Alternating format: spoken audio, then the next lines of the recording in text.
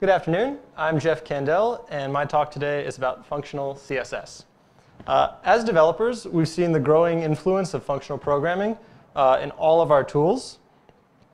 And we can consider, for example, the dispatch function in Redux or composability in uh, React components.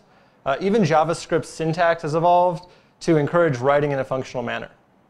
And there's a reason for this trend, because building up small deterministic functions to create code make software that's easy to understand, to extend, to test, and maintain. Um, now, while it might not seem obvious at first, our designs can benefit if we take that same approach and apply it to our CSS. But CSS isn't a programming language, and it's already pretty composable, right?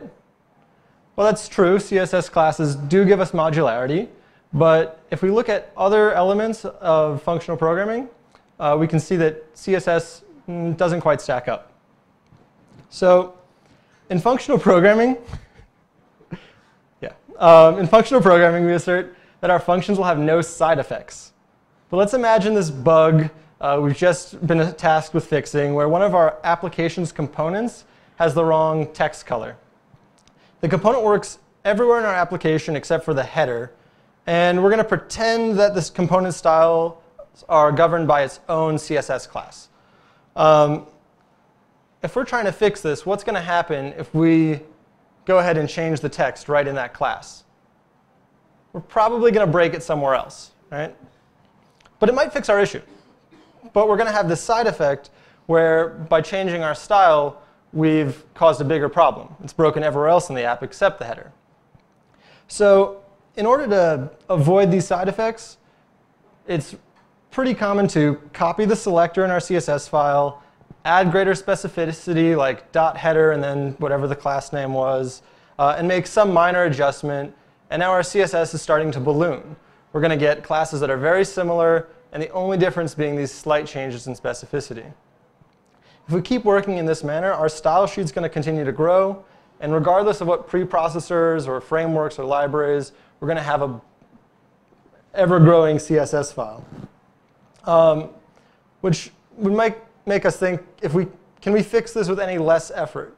Right? And what would it look like if we had deterministic style functions that didn't have all these consequences? It actually looks really similar.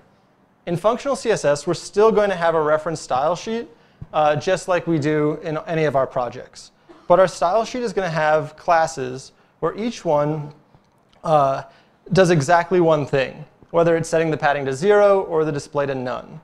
And with these atomic classes, there might be about 3,000 of them.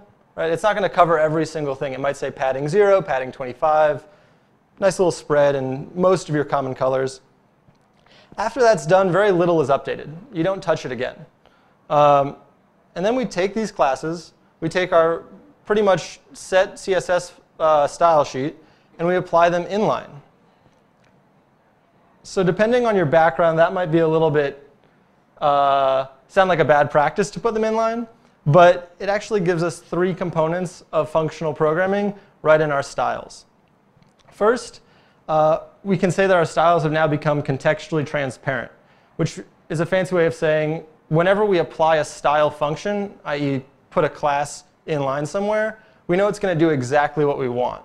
The color text on this top line uh, center text on this top line is going to center the text here. We're, there's no doubt about it. Uh, second, our styles are now side effect free because applying an inline style is not going to affect anything else in your application. And third, we maintain the composability we had in the first place uh, because we can apply as many styles inline as we want. Also, uh, as an added benefit, our code documents exactly what styles we apply so you don't have to go and search the CSS to understand what a class is doing to your uh, design. So um, what I have here, this example is actually some uh, functional CSS I wrote. Uh, the class names aren't real and they're not used widely, but they do give a, a pretty clear example. The library I've been using is actually called tachyons. And that syntax might be a little bit unfamiliar, but it's doing the exact same thing. It uses a little bit more brevity so that you can save on typing, but padding zero is PA0 and white, or color white is just white. Uh, let's look at an example. On the left here, we have an item card for a uh, photo available in some animal photography store.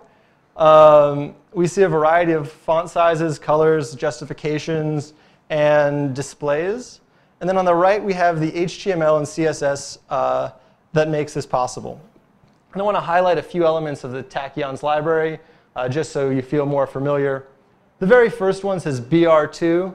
That stands for border radius 2 rem, and it's setting the border around our box. Right?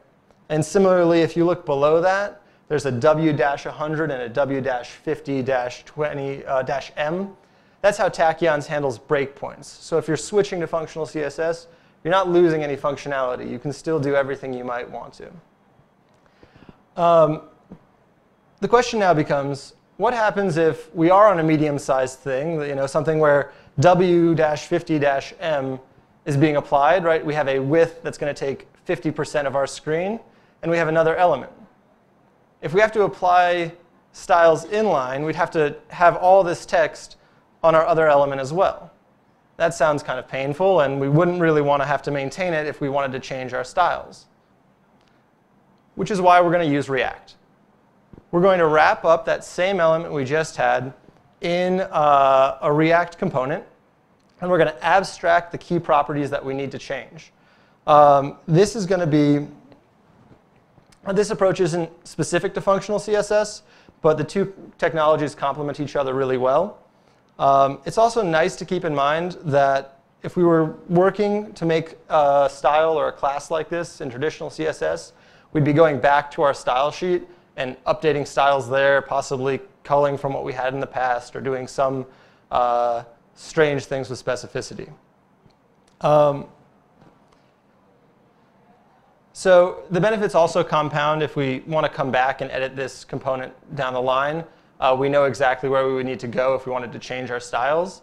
Um, and we could just right here change them without having any other effect on our app, right? We wouldn't lose uh, any, we would have no side effects in any other place if we wanted to redesign this item card. So uh, now that we have this React component, we can use it. And make our uh, item cards for our dog, our cat, and our bear photography in one line. Um, they're all styled in a uniform way, um, and it's easy to maintain. It's easy to change if we need to. It's easy to debug. Um, and somebody coming to our code base can really easily understand why uh, these look the way they do. So uh, let's recap a bit. Uh, functional programming makes for better applications and happier developers. Functional CSS incorporates uh, the ideas of immutability, transparency, and composability into our styles. Uh, it's easy to learn and apply either on your own or with uh, one of the popular libraries out there. And by building React containers around our functional CSS, uh, we can get well-designed code that's easy to understand and maintain. Thank you.